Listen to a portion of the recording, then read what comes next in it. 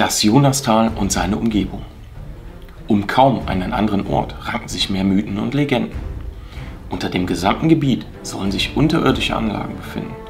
Die Rede ist von unterirdischen Produktionsstätten, Forschungseinrichtungen für Hoch- und Höchsttechnologie bis hin zu einem Führerhauptquartier. Menschen, die Teile der geheimen Anlage betreten haben, sollen wenig später verstorben sein. Warum ließ eine israelische Stiftung in Gossel Suchbohrungen in bis zu 30 Metern Tiefe durchführen? Sind Privatpersonen im Besitz von geheimen Unterlagen über diese Systeme? Liegt hier gut verborgen das Bernsteinzimmer und wartet auf seine Entdeckung? Warum mauern Behörden und streiten die Existenz unterirdischer Tunnel ab? Was hat es mit dem Hügel Ebernotte auf sich? Befindet sich unter diesem Hügel eine streng geheime unterirdische Anlage?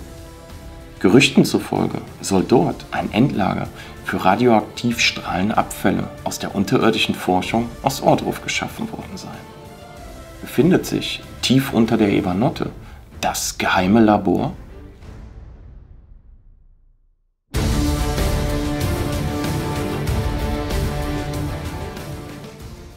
Bevor das Video losgeht, hier der Sponsor des heutigen Videos und das ist Fishing Clash.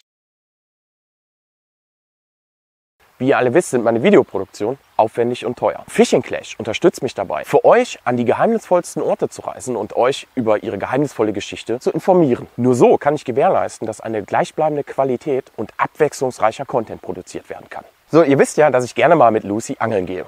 Freunde, Lucy, ihr erster Fisch. So, Freunde, ist auch wieder Lucy ihre. Leider ist die Zeit zum Angeln nicht immer gegeben, weil wenn ich nicht gerade auf Dreharbeiten bin, dann sitze ich am Schnitt oder bin in den Recherchen. Doch wann immer es mir möglich ist, bei den Pausen auf den Dreharbeiten, zwischen den Interviews oder am Schnittprogramm, versuche ich Entspannung zu finden. Und da kommt Fishing Clash ins Spiel. Egal wo ich bin. Ich hole einfach mein Smartphone raus, starte die App und kann losangeln. Auch wenn ich hier an einem Bach sitze, wo ich jetzt nicht angeln kann, weil hier keine Fische sind und weil ich nichts bei habe. Man hat direkt das Gefühl, man ist mitten im Spiel. Und die realistische Grafik reißt euch einfach mit und ihr seid völlig in diesem Spiel. Auch wenn ich mal unter der Erde bin, kann ich da trotzdem an den schönsten Orten der Welt die Angel auswerfen und sofort losangeln. Egal wo ihr gerade seid, ihr holt euch die Entspannung des Angelns ganz einfach in euer Wohnzimmer, an euren Arbeitsplatz, auf die Baustelle oder in den Streifenwagen. Das alles ein bisschen zu entschleunigen. Fishing Clash raus und erstmal einen Fisch catchen. Wir werfen die Angel mal aus, schönste Natur, geile Grafik, geht direkt los. So, wir fangen und schon ist er am Start. Und was haben wir da schönes geangelt? Ein Snook. Wir holen uns auch die Belohnung ab. Wenn du gerne angeln gehst, dann ist Fishing Clash genau das Richtige für dich. Also das Gute hierbei ist, ihr seid an verschiedensten Orten und da gibt es natürlich auch die verschiedensten Fische. In dem Fall habe ich jetzt eine Goldmakrele gefangen. So, und ihr könnt natürlich auch ableveln zwischen verschiedenen Ködern, um dann seltenere Fische zu fangen, bessere Angeln. Und weil ich mit Lucy ja gerne den Angelwettkampf mache, habe ich hier auch die Möglichkeit, wirklich gegen andere Spieler anzutreten. Und ihr könnt da in der Rangliste höher kommen. Und die könnt ihr aufsteigen. Ihr müsst dann taktisch vorgehen und in der vorgegebenen Zeit möglichst viele Fische fangen. Ihr könnt im Shop unter den verschiedensten Ködern und Angelrouten selber entscheiden, was ihr braucht für den nächsten großen Fang. Natürlich habe ich für euch noch einen Code klar gemacht. Fishing Clash ist natürlich völlig kostenlos. Und wenn ihr mich unterstützen wollt, scannt einfach den QR-Code oder folgt dem Link in der Videobeschreibung, geht in das Spiel rein, klickt auf Codes und gebt den Code KlappspatenTV ein. Und ihr bekommt dieses Paket völlig kostenlos im Wert von über 20 Dollar. Mit dem Gutscheincode KlappspatenTV bekommt ihr einen mystischen Köder, um diesen seltenen Fisch zu fangen. Die Florida-Lizenz, den Lack Power-Up. Damit habt ihr eine höhere Chance, seltene Fische zu fangen. Die Level 3 Angel und das Gewicht Power-Up dient dazu, schwerere Fische zu angeln, damit ihr schneller aufleveln könnt. An dieser Stelle nochmal herzlichen Dank an Fishing Clash für die Unterstützung. Jetzt geht's gut entspannt weiter auf der Suche nach den letzten Geheimnissen unserer Zeit. Wir laufen jetzt hier gerade über das Hochplateau und meine lokalen Führer hier, die suchen gerade die Bohrstellen, wo man hat hier damals vor ein paar Jahren gebohrt. Wenn wir die gefunden haben, dann schauen wir mal, was hier damals wirklich vor sich ging, was hier passiert ist. Also es sind spannende, aber doch schon schockierende Aussagen von den lokalen Anwohnern, die das damals hier miterlebt haben.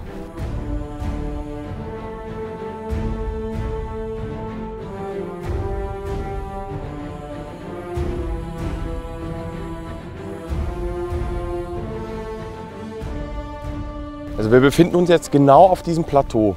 Zu dem Plateau ist zu sagen, das ist so 5, 15 Meter ungefähr höher als normal hier. Also es ist sowieso auf einem Hügel und auf dem Hügel ist nochmal ein Hügel. Es ist aber tatsächlich natürlich es nicht aufgeschüttet. Dieser Hügel war immer schon da, wo wir uns hier bewegen.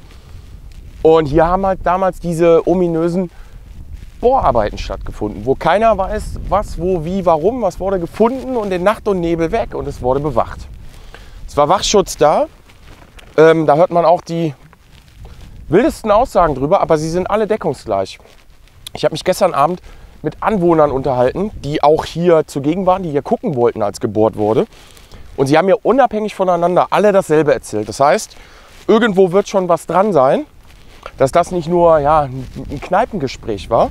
Das Gefühl hatte ich nicht, weil es alles deckungsgleich war. Und die Leute kamen halt nacheinander. Einer ging mal, einer kam rein, der hatte was gehört und, und, und. Also ich habe gestern versucht, mit der Bevölkerung hier ins Gespräch zu kommen, was auch sehr gut geklappt hat. Und wir gucken jetzt noch ein bisschen und dann erzählt der Ralf mal, was hier damals tatsächlich, weil er hat mitbekommen, er war auch hier zugegen.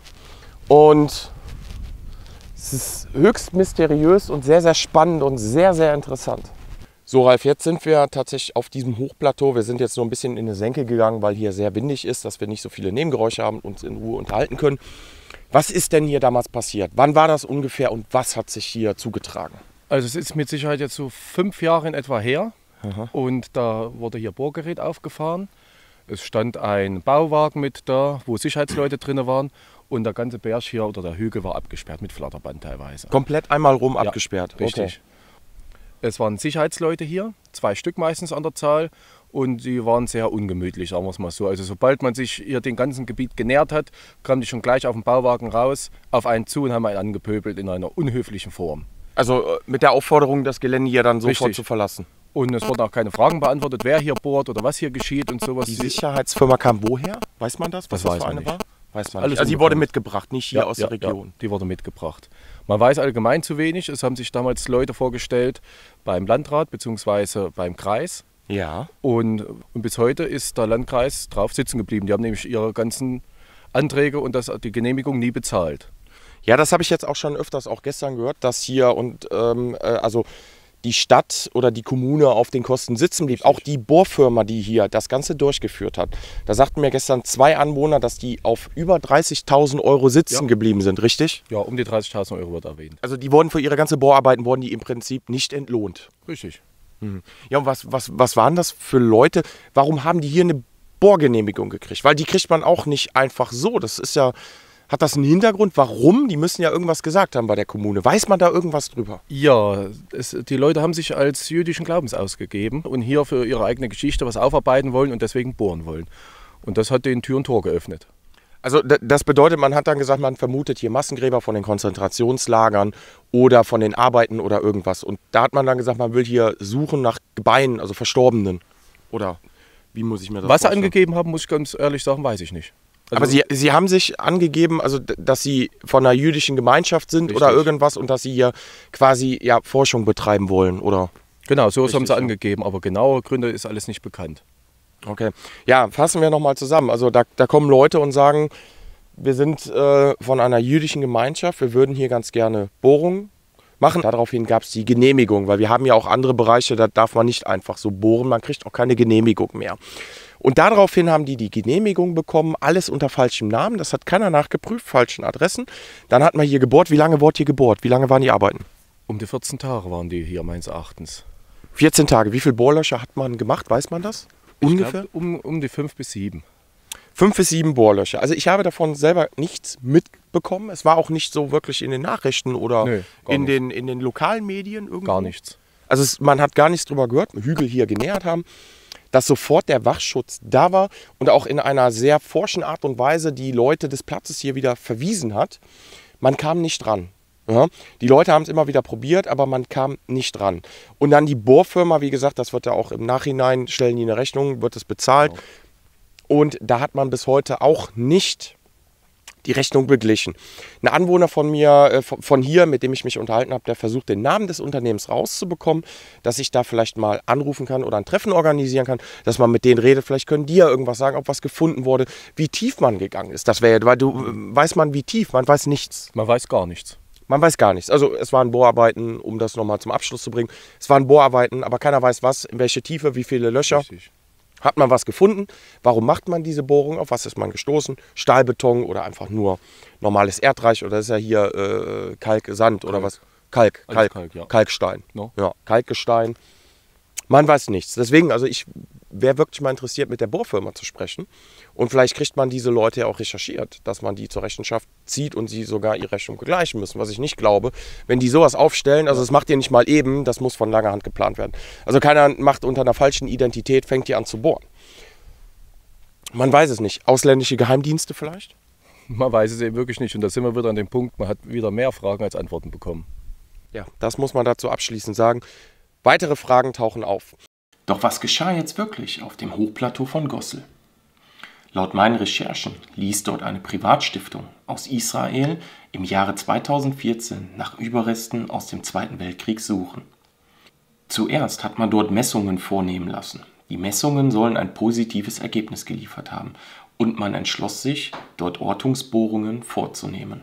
Die Bohrungen auf der im Volksmund bezeichneten Hügelkette Höllenköpfe wurden vorgenommen. Man bohrte bis in eine Tiefe von 30 Metern. Was man genau gefunden hat, ist vorerst unklar geblieben. Die beiden Herren der israelischen Privatstiftung wurden vom Landratsamt aufgefordert, die Ergebnisse offenzulegen. Der Generaldirektor Ephraim Meyer, so stellte er sich selbst vor, gab an, dass die Untersuchungsergebnisse erst in mehreren Monaten vorliegen würden.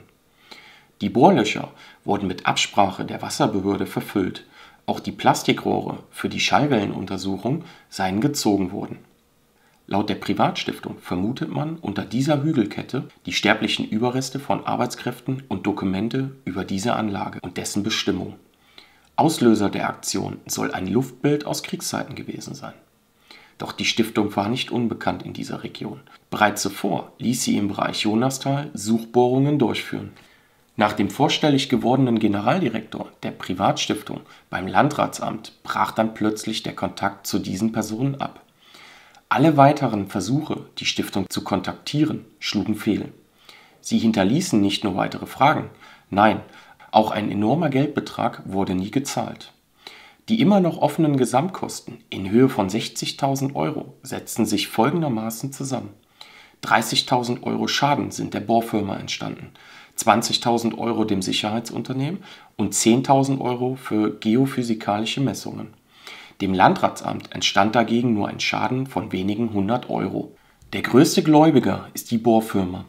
Diese wandte sich an die israelische Botschaft. Auch das Landratsamt, welches die beiden Männer nicht richtig überprüft hat, setzte sich mit der israelischen Botschaft in Verbindung. Laut einem Sprecher des Landratsamtes hat einer der beiden Männer Deutsch gesprochen, der andere nicht. Einer der beiden Männer soll einen geheimdienstlichen Hintergrund gehabt haben und sie baten um Diskretion und Geheimhaltung bei diesem Unterfangen seitens des Landratsamtes. Alleine diese Aussage reichte dem Landratsamt aus, um die Genehmigungen für Such- und Probebohrungen zu genehmigen. Die Identität der beiden Männer wurde nie überprüft, auch die Stiftung wurde nicht überprüft. Das Landratsamt vermutet, dass es sich bei den Männern um Schatzsucher gehandelt haben könnten, die auf der Suche nach dem legendären Bernsteinzimmer gewesen sind. Eine Frage stellt sich besonders. Warum wurde kein sogenannter Background-Check der Behörden veranlasst? Warum wurde ohne diese Information Genehmigung erteilt? Und daraus resultiert eine weitere Frage. Haben die Männer dem Landratsamt Beweise vorgelegt, um ihren Vermutungen gegenüber dem Amt glaubhaft zu machen? Wenn es wirklich diese Luftbilder gab, was war darauf zu erkennen? Und hat das Landratsamt die besagten Luftbilder von Experten auswerten lassen? Zudem bleibt die Frage, woher die Männer ihr Wissen über die Hohlräume unter dem Hochplateau hatten. Befinden sich geheime Dokumente in privater Hand oder war hier gar ein ausländischer Geheimdienst am Werk? Auch hier bleiben mehr Fragen als Antworten. Doch was befindet sich jetzt unter dem Hochplateau Gossel? Diese Frage bleibt wie so viele andere offen. Irgendwer hat ja Informationen zu Anlagen unter den Höllenköpfen, sonst hätte man diesen Aufwand wohl kaum betrieben. Ob man fündig geworden ist, wohl eher nicht, sonst hätte es Beantragungen zum Öffnen der Anlage gegeben. Betrachtet man diesen Bereich nüchtern, so kommt man zum folgenden Ergebnis.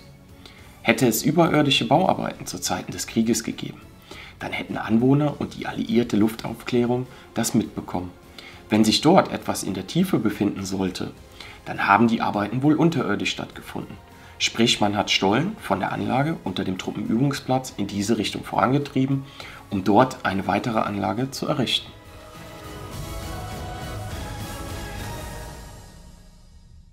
Die Partei Die Linke war auch an den Bohrungen und dessen Hintergründe interessiert und hat im Jahr 2014 eine kleine Anfrage beim Thüringischen Landtag gestellt. Explizit stellte man die Frage, ob Erkenntnisse über die Bohrungen der Landesregierung vorliegen, wer diese Bohrungen in Auftrag gegeben hat, wer die Bohrungen finanziert, auf welche rechtliche Grundlage die Bohrungen basieren und welche rechtlichen Auflagen gestellt wurden und wann die Ergebnisse der Bohrung bekannt gegeben werden. Die Antwort des Thüringischen Landtages fällt wenig aufschlussreich aus. In dem offiziellen Schreiben heißt es, der Auftraggeber ist eine israelische Privatstiftung. Ziel der Stiftung ist es, das Schicksal der Familienmitglieder zu klären und den Verbleib dessen Besitztümer. Der Stiftung liegen Hinweise auf unterirdische Objekte vor, wo man sterbliche Überreste von Vermissten oder weiteren Zeugnissen vermutet das Ziel sei, darüber Aufschluss zu erlangen. Des Weiteren heißt es: Ob und in welchem Umfang die Stiftung ihre Ergebnisse der Öffentlichkeit vorstellt, ist nicht bekannt. Auf welcher Rechtsgrundlage die Bohrungen durchgeführt würden, wird nicht genannt. So heißt es in der Antwort vom Thüringischen Landtag: Der Antrag auf Informationsauszug ist unter bestimmten Voraussetzungen abzulehnen.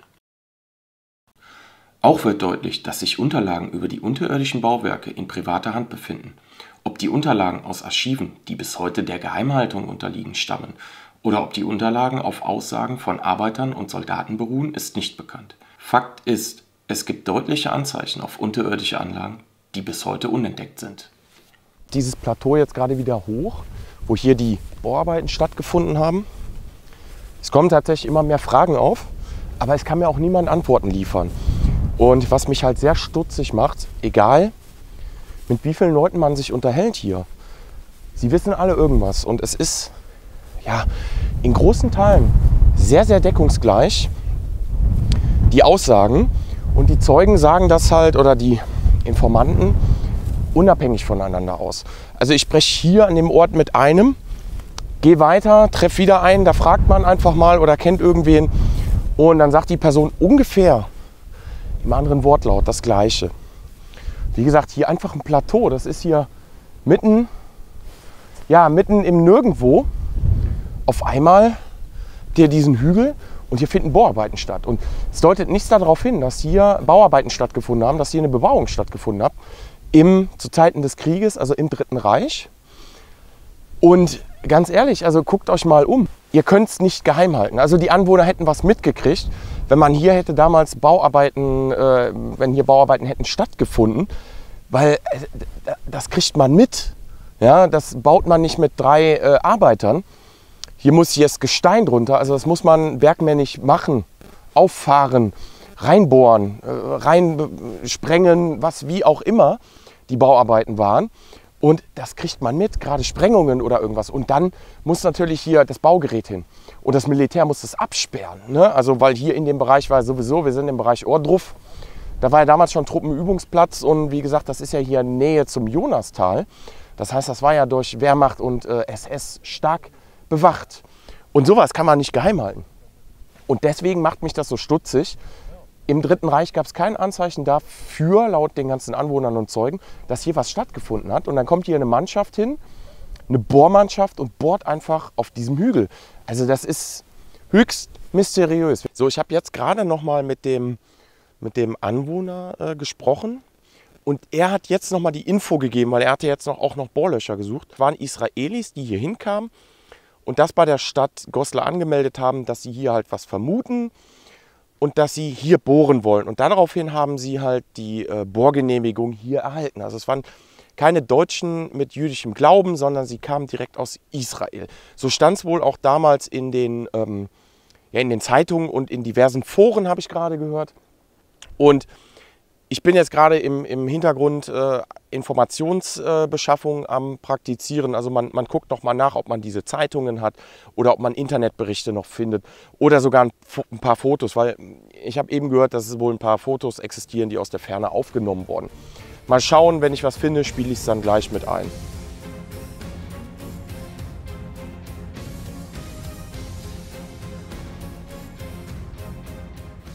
So, im Prinzip sehen wir jetzt da den Anhänger und da auf die linke diese Bohrmaschine. Dieser Baum war dann vor, wie gesagt, acht Jahren noch nicht da. Und wir können uns an dem Turm, das ist ein Kirchturm in die Richtung da, da können wir uns dran orientieren.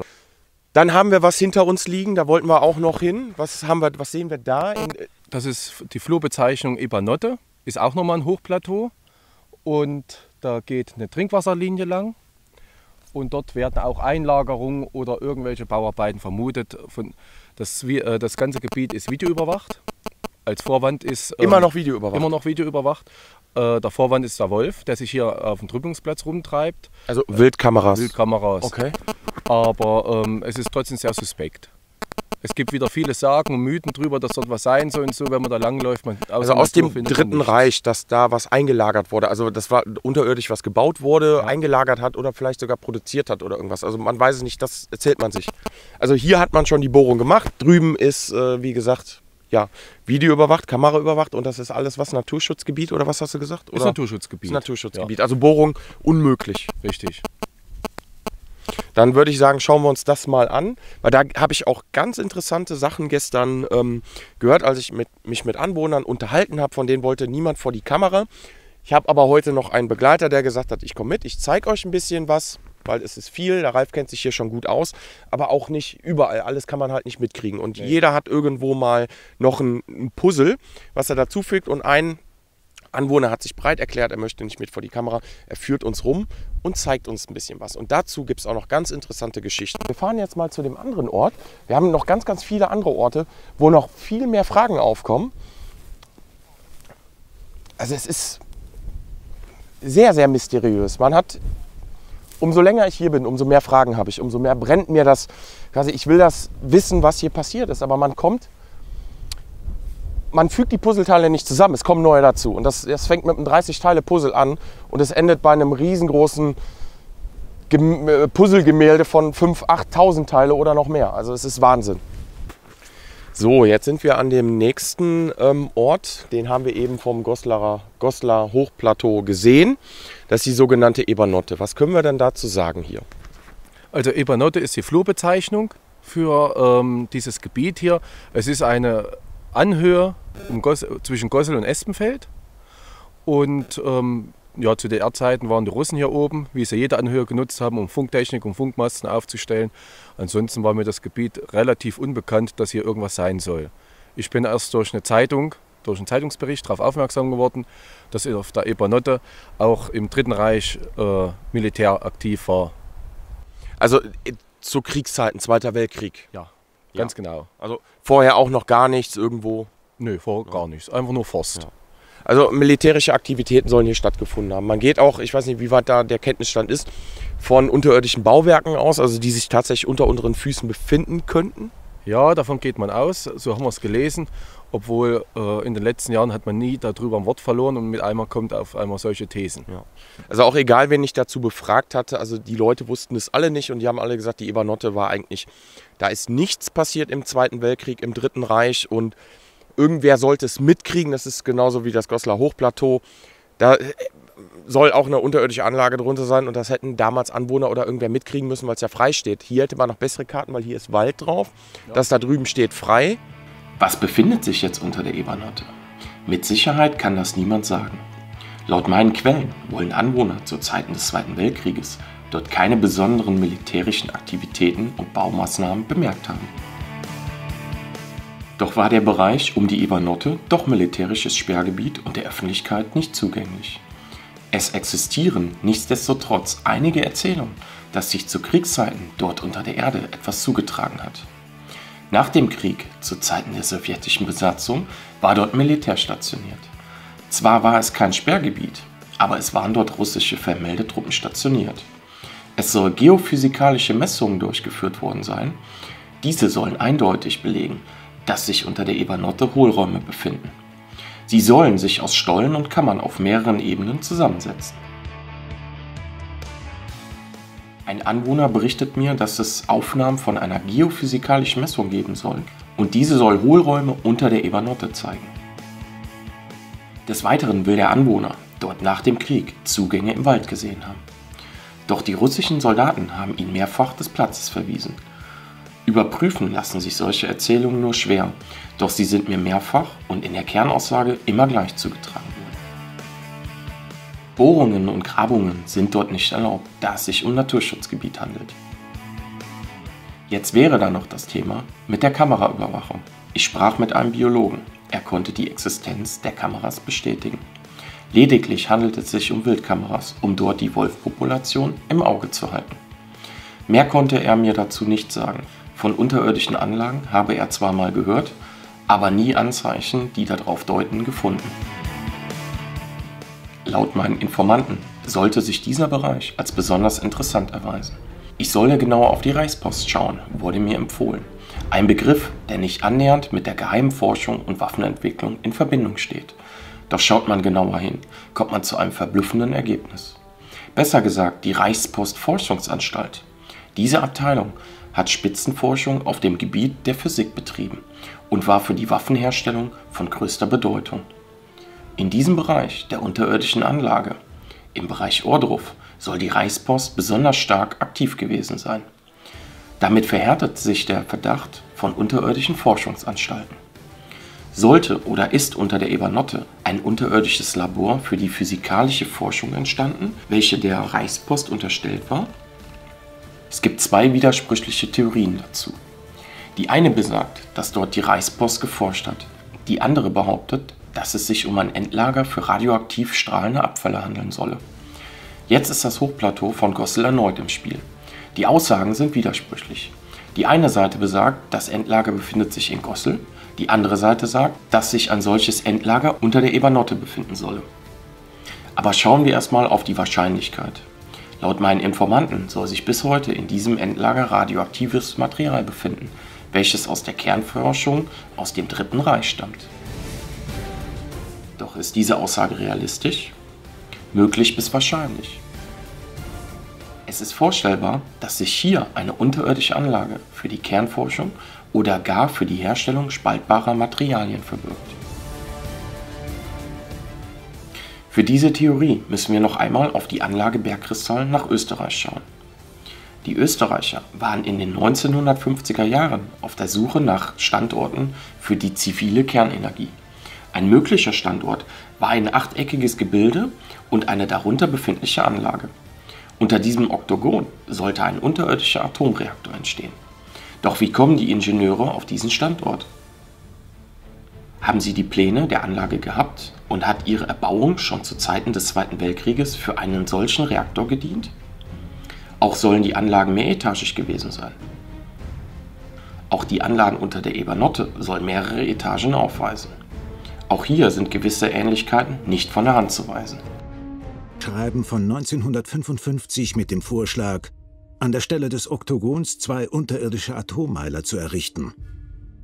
Wie mein Vater auf äh, die detaillierten Vorschläge eines Atommeilers äh, gekommen ist, weiß ich heute nicht. Woran knüpfen diese Pläne an? In den Skizzen sind die geplanten Atommeiler achteckig dargestellt. Reiner Zufall? Die Form und der Standort? Ein schon bestehendes Werk? In den Schnittskizzen dieses Atommeilers sind fünf Etagen eingezeichnet. Bei Grabungsarbeiten im Jahre 2013 in Österreich fand man ein Bauteil, welches in Teilchenbeschleunigern zur Anwendung kommt und der nuklearen Forschung dient. Hier entstand im Krieg ein achteckiges Gebilde. Heute liegt eine Betondecke über dem sogenannten Oktogon, das 2013 zum Teil freigelegt wurde. Dieser Gegenstand kam bei den Grabungen zum Vorschein. Experten bestätigen, dass es sich um das Bauteil eines Teilchenbeschleunigers handelt, der nuklearen Forschungen dient. Das Physikinstitut der Universität Arizona schreibt, in unserer Maschine gibt es Bauteile, die den historischen Vorbildern gleichen. Warum schreibt das Physikinstitut der Universität Arizona, dass die Bauteile aus ihrer Maschine dem historischen Vorbild gleichen? Hat man nach Arizona die Baupläne für einen Teilchenbeschleuniger geschickt und gezielt nachgefragt, ob diese Bauteile vorhanden sind? Hat deswegen die Universität vom historischen Vorbild gesprochen?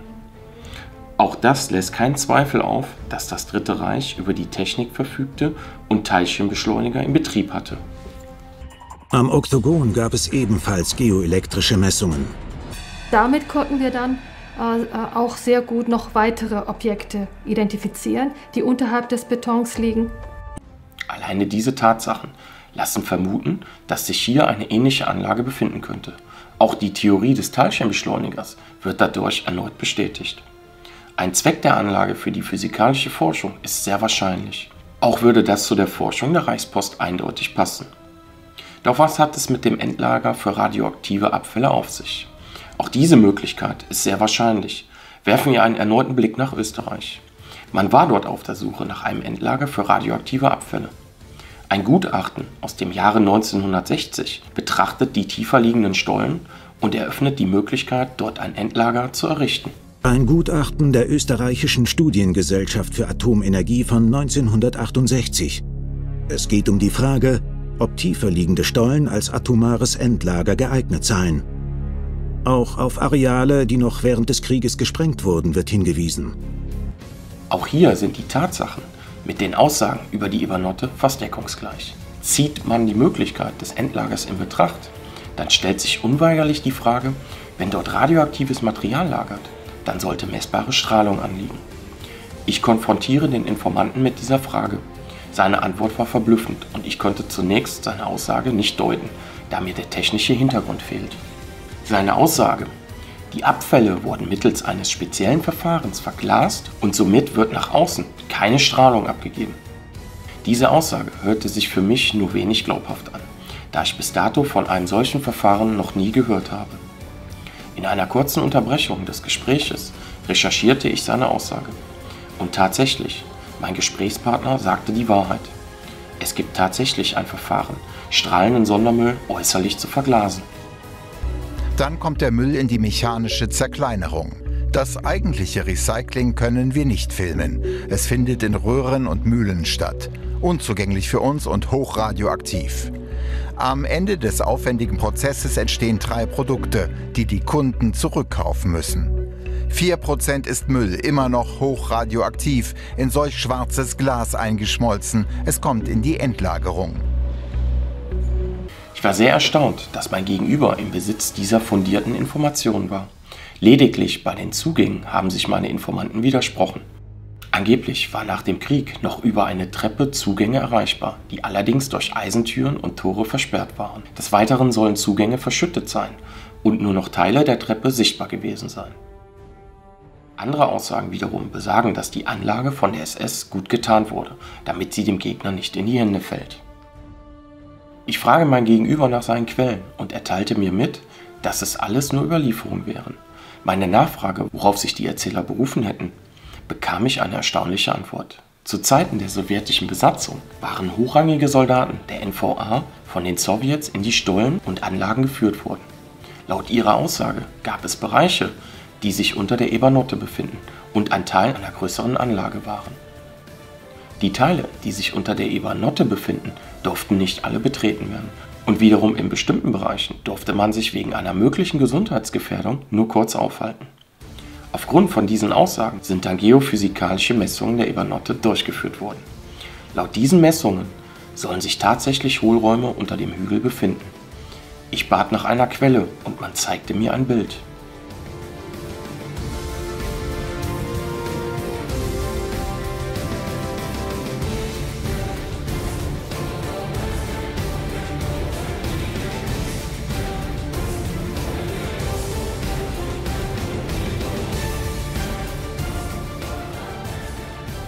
Dieses Schaubild kann ich nicht deuten und auch der Aufnahmeort ist für mich nicht recherchierbar.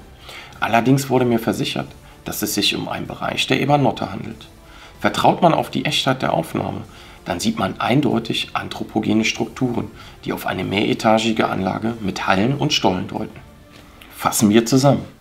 Weder unter der Ebernotte noch unter den Höllenköpfen sollen sich laut offizieller Stellen unterirdische Anlagen befinden.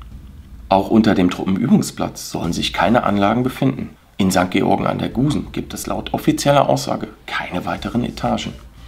Die Existenz der unterirdischen Anlagen unter Ohrdruf ist durch das Video der Polizei bestätigt worden. Auch in Österreich ist die Existenz eindeutig bewiesen worden. Wie wahrscheinlich ist jetzt eine unterirdische Anlage unter den beiden Hügeln? Diese Frage darf sich jetzt jeder selbst beantworten. Werfen wir nochmal einen genaueren Blick auf die Erbauung solcher Anlagen. Hat man die Stollen oberirdisch aufgefahren, dann hätten Anwohner und Luftaufklärer das bemerkt. Die Luftbilder hätten solche Aktivitäten festgehalten. Doch sind keine großen Arbeiten auf den Bildern zu sehen. Dass die Arbeiten oberirdisch durchgeführt wurden, ist recht unwahrscheinlich. Bleibt nur eine Möglichkeit. Man hat diese Anlagen bereits von dem bestehenden Tunnelsystem unter dem Truppenübungsplatz Ohrdruf aufgefahren. Das würde auch zu den Aussagen der Zeitzeugen passen. Viele von ihnen sprachen über kleinere Anlagen, die aber zu einer weitaus größeren Anlage gehören. Aber warum verlegt man dann solche kleineren Anlagen genau unter die Hügelketten? Man könnte diese unter der Erde überall anlegen. Dachten hier die Ingenieure schon weiter? Hat man Anlagen zur Forschung oder Endlagerung gezielt weit weg von der Hauptanlage erbaut? Oder nutzte man die natürliche Erhöhung im Gelände aus, um die Anlage absolut vor Bomben zu schützen? Die Alliierten hatten Bomben in ihrem Arsenal, die auch stärksten Stahlbeton durchdringen konnte. Die DP 12000 LB, Deep Penetration 12.000 Pfund, besser bekannt unter dem Namen Tallboy. Der erste Einsatz der Tallboy war die Nacht vom 8. auf den 9. Juni 1944. Eine Eisenbahnstrecke wurde bombardiert, ein Tunnel wurde dabei zerstört.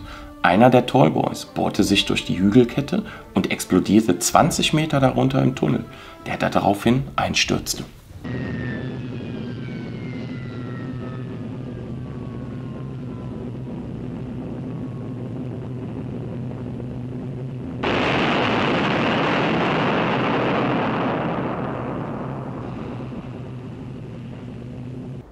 Es ist eine gewaltige Explosion hier in der Swine zwischen den Inseln Usedom und Wolin.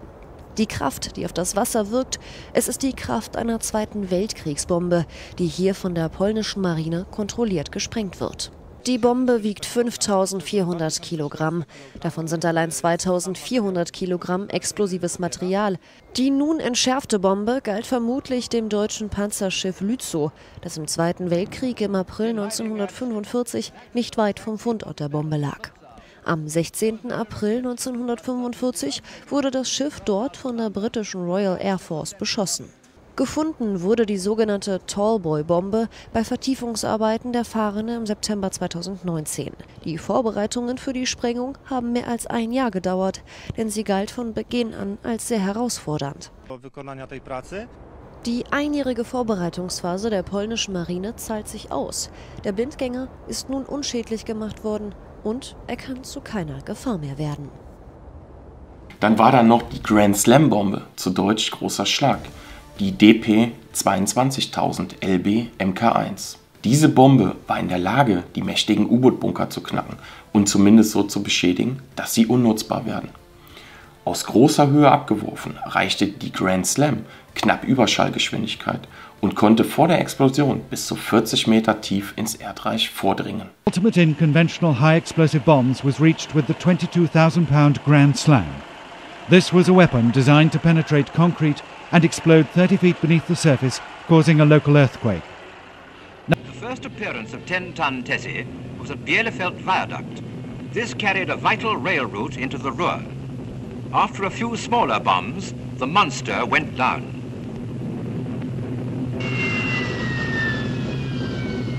A feature of the big bomb is the crater it makes before it goes off. Watch the left-hand corner of the white puff of smoke. The bomb makes its crater, and then...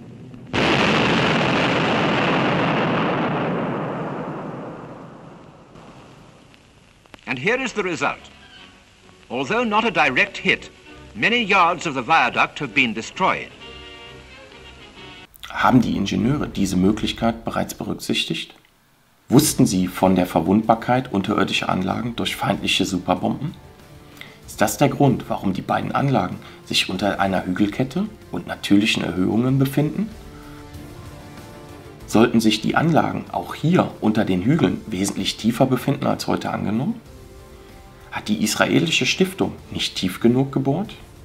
Wenn diese Anlage wirklich für die Hoch- und Höchsttechnologie und dessen Erforschung und Entwicklung bestimmt war, dann ist es mehr als wahrscheinlich, dass die Ingenieure auch diese Möglichkeit bedacht haben.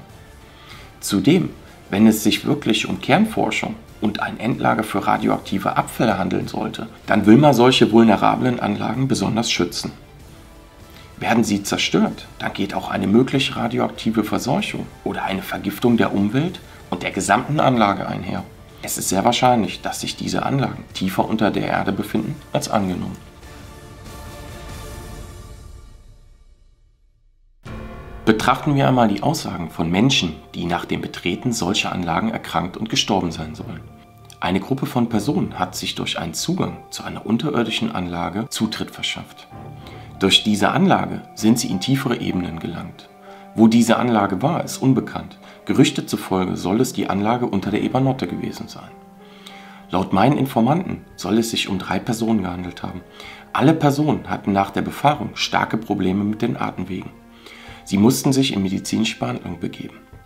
Nach kurzer Zeit sollen zwei der drei Personen an den Folgen der Erkrankung verstorben sein. Doch resultiert diese Krankheit auf radioaktive Verseuchung? Die Wahrscheinlichkeit ist sehr gering, da akute Strahlenvergiftung andere Symptome verursacht. Doch warum wurden die Personen krank und sind kurz darauf gestorben? Dazu schauen wir auf einen Vorfall aus dem Jahre 1973, der sich in Polen zugetragen hat. Wissenschaftler öffneten die Gruft von König Kasimir IV. Kurz darauf werden fünf Wissenschaftler krank und sterben kurz darauf. Alle Verstorbenen hatten Beschwerden mit den Atemwegen und der Lunge. Nachdem die ersten fünf Menschen innerhalb von zwei Jahren starben, wurde der Fall wirklich sehr interessant und spannend. Sollten die Personen wirklich in eine unentdeckte Anlage unter der Ebernotte vorgedrungen sein, die seit Jahrzehnten nicht geöffnet wurde, dann ist es wahrscheinlich, dass sie durch die abgestandene Luft und den Pilzbefall erkrankt sind. Ob der Auslöser der Erkrankung ein Pilz namens Aspergillus flavus oder ein Pilz aus dessen Familie war, ist sehr wahrscheinlich. Die Theorie, dass die Personen durch radioaktive Stoffe aus dem Dritten Reich erkrankt sind, ist nahezu ausgeschlossen, da der Verlauf einer akuten Strahlenkrankheit anders ist. Die typischen Symptome einer Strahlenkrankheit sind Erbrechen, Übelkeit und Durchfall, gefolgt von einer Schwächephase. Wenig später treten dann Symptome wie der Zerfall des Knochenmarks und fürchterliche Verbrennungen auf.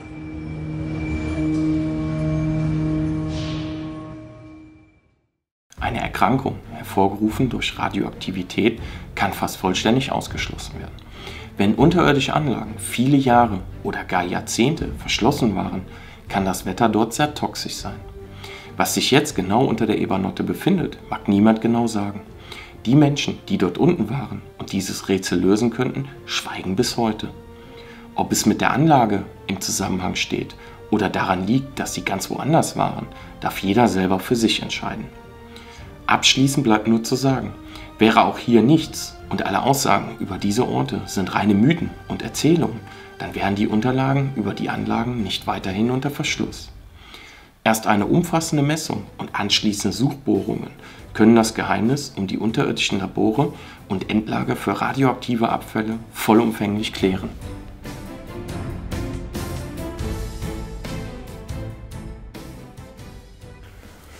So, das ist jetzt hier ein aktives Kieswerk. Und beim Graben, also so sieht das Ganze aus. Beim Graben soll man hier, es ging eine ganze Zeit lang in der Szene rum und Anwohner haben sich erzählt, dass die hier beim Graben, bei den Kiesarbeiten, auf Fundamentstücke gestoßen sind. Gesehen hat es keiner. Es gibt keine Fotos darüber oder Videos, die also mir jetzt bekannt sind oder meinen Kontaktpersonen. Es wird sich nur erzählt, dass man halt in dieser Kiesgrube diese Fundamente gefunden hat. Wissen tut es keiner so genau, aber es geht rum. Also du hast auch schon oft gehört. Ja, das, so ist es immer mal Gespräch in der Stadt. Ja. Und wenn wir weitergehen, dann haben wir was Interessantes. Erklär, erklärst du jetzt mal eben. Was ist, hat das mit dem Kieswerk hinter uns auf sich? Also geografisch gesehen liegt das Kieswerk exakt in der Flucht zu den Jonastalstollen. Also auf, auf der Seite quasi da? Hier längs drüber. Direkt. Da längs drüber. Ja. Da sind die Jonastalstollen, wo wir ja auch äh, drin waren. Also hier Stollen 1 bis 12 und so weiter und so fort. Auf einer Linie soll das ja. liegen, tatsächlich. So, und jetzt geht man davon aus, dass die Stollen da viel weiter gingen, als das, was bekannt ist. Oder eine andere Stollenanlage, weil diese ja eventuell nur zur Tarnung gedient haben könnte, dass die Stollen hier rauskamen, tatsächlich an dem Kieswerk, und dass man da jetzt aus Versehen draufgestoßen ist. Aber wissen tut es, wie gesagt, keiner. Es gibt keine Fotos, Videos oder irgendwelche anderen Informationen darüber. Wie immer. Ja, wie immer. Nur Fragen, weitere Fragen, keine Antworten. Das große Eckige ist das, ja. wo wir hier stehen. So, also hier sind die Stollen. Und dann gehen wir über den Berg rüber und landen tatsächlich hier an dem Kieswerk. So, und das liegt genau tatsächlich in der Flucht, wie meine lokalen Kontaktpersonen mir das gerade mitgeteilt haben. Also eventuell könnte da ein Verbindungsstollen gegeben haben, wo man irgendwann die Fundamente davon gefunden hat. So, an dieser Stelle nochmal herzlichen Dank an Fishing Clash für die Unterstützung meiner Videoproduktion. Wollt ihr mich und meinen Kanal auch unterstützen? Dann ladet euch das Spiel runter, einfach den QR-Code äh, scannen oder den ersten Link in der Videobeschreibung und mit dem Code KlappspatenTV nochmal ordentlich absahen und ein Setup im Wert von 20 Dollar bekommen. Ladet euch das Spiel runter und findet Entspannung im Alltag. Freunde, und es geht spannend weiter. Schaltet auch demnächst wieder ein. In der unmittelbaren Nähe des Jonastals befindet sich ein Ort, an dem mysteriöse Dinge vor sich gingen. Erst zu Zeiten der sowjetischen Besatzung. Arbeitskräfte wollen da Unvorstellbares gesehen haben. Dann erneut zu Zeiten der Bundeswehr. Auch dort gibt es haarsträubende Geschichten zu. Auch sollen hier Kräfte am Werk gewesen sein, die das Geheimnis des Dritten Reiches wahren wollen.